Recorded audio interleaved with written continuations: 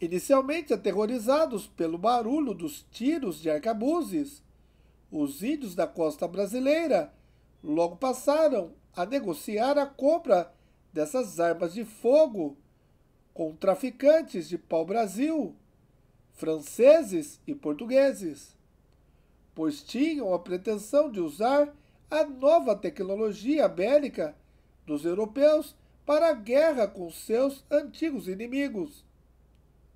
O alemão Hans Standen, que esteve no Brasil em 1549 a serviço dos portugueses, relata que era frequente o índio trocar o pau-brasil por arcabuz. Também Standen escreveu que uma tribo tupinambá, que o conduziu à aldeia de Ubatuba, usava armas de fogo contra os portugueses e os tupiniquins.